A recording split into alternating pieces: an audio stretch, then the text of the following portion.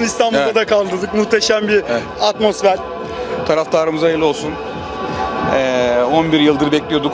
Yani kutlayamadığımız bir şampiyonluk vardı. Bu şampiyonluğu kutladık hep beraber. Çok güzeldi. Ee, inşallah önümüzdeki yıllarda yine bu şekilde birlik olarak, beraber olarak yeni kupalar alacağız. Sağ olun. Herkes rahat olsun. Çok teşekkür ederim.